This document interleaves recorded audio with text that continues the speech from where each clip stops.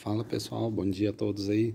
Estamos aqui hoje mostrar para vocês como é o sincronismo do motor 2.4 da Fremont, entendeu? O sistema desse motor aqui muito semelhante ao do Compass 2.0, entendeu? É idêntico. Porque apesar do motor ser 2.4, o desenho dele é um motor mundial aí, bem conhecido, mesmo princípio também, por isso que eu coloquei no título aí, beleza?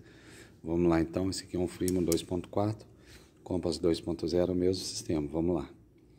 Aqui em gente tem as duas polias. Você tem que se atentar ao que? Esse ponto desse motor, ele se refere -se à marcação que tem na corrente, que o dente é diferente, tá vendo aqui? Casando com essa marcação da polia, certo? Lá você ver que tá o dente, certo? Casando com a polia aqui, ó. De cá também a gente tem um dente de outra cor também, certo? Olha pra vocês verem, ó a coloração do dente é diferente, tá vendo? Casa com a polia. No meio tem uma referência para você deixar as polias. Vou agachar aqui para ficar mais fácil, como vocês podem ver ali, ó. Lá no meio você pode observar que tem aqui, ó. Pique da polia, que tem um tracinho, ó. Ele fica faceando com o cabeçote. Do outro lado vai ter outro pique. Ele fica também faceando com o cabeçote, certo? Olha lá, observe pra você ver, faceando com cabeçote, faceando com cabeçote. Todos os dois coletores, coletor de admissão e coletor de escape. Beleza? Entendeu? Elas ficam faceando para te dar uma referência e o dente da corrente coincidindo com a marca da polia. Muito cuidado para você não montar errado.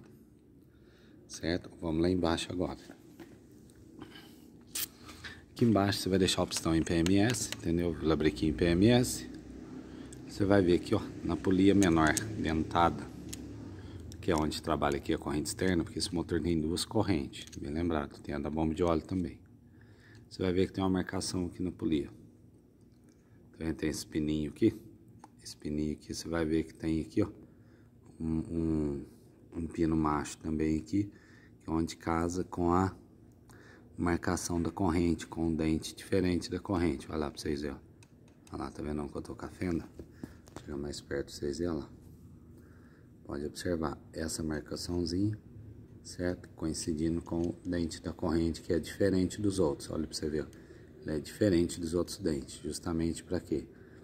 É ele quem faz o sincronismo do motor, beleza?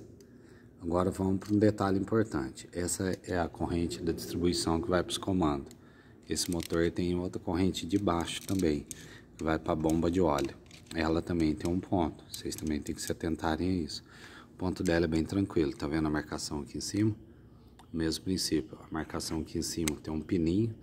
Esse pininho encaixa aqui no dente marcado da corrente, correto? No dente marcado da corrente. E aqui embaixo na bomba de óleo, segue o mesmo princípio, tá? A bomba de óleo, a engrenagem dela, coincidindo com o pino da corrente aqui, ó. Com o elo da corrente, que é diferente dos outros. Olha pra vocês verem coincidindo com a marcação da bomba de óleo. Por que, que esse ponto é assim? Por que, que tem ponto na bomba de óleo? Porque essa bomba de óleo ela também faz o papel de contrabalanço do motor, entendeu? Dentro dela tem uns pesos que faz o que? O contrabalanço para evitar as vibrações dentro do motor, beleza? Para diminuir. Detalhe importante, na hora de você travar o esticador, você arruma um pininho. Eu arrumei aqui ó, um araminho igual ao original, ferramenta específica para você travar os esticador na hora de você tirar a corrente, certo? Que aí o esticador aqui ele fica travado, fechado, tem perigo dele estourar. Travei o esticador, fica mais fácil para montar também o guia da corrente. E travei o esticador de cima também, beleza? Então é uma dica rápida para vocês, certo? Espero ter ajudado vocês aí na dúvida aí. Vou ficando por aqui, grande abraço a vocês aí. Beleza? Grande abraço, pessoal. Posição do comando, pra vocês verem como é que ficou. Beleza? Vou ficando por aqui. Grande abraço.